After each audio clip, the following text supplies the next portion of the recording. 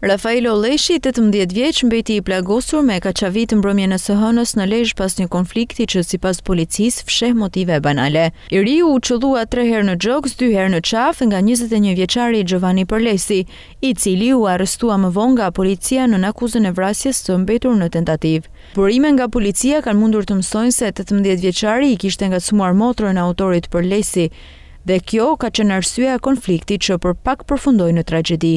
Për shkak të plagëve të rënda i riu Lleshi u transportua me urgjencë në spitalin e Traumës, ku iu nënshtrua një ndërhyrje kirurgjikale në mushkëri, e cila u dëmtua për shkak të goditjes me kaçavit. Aktualisht, burime nga Trauma bëjnë me dije se është në gjendje të qëndrueshme, por nuk konsiderohet akoma jashtë rrezikut për jetën. Përplasja mes dy të rinjve ndodhi në rrugën Luigj Gurakuqi, pranë xhamisë së qytetit të Lezhës, ndërsa policia bëri të mundur brenda një kohe të shpejtë prangosjen e autorit të ngjarjes, njëzet e një vjeçarit Xhovani Përlesi. Ky i fundit po mbahet në dhomat e paraburgimit të Komisariatit të Policisë Lezhë në pritje për t'u njohur me masën e sigurisë në gjykatë, e cila do të vendosë për fatin e të riut.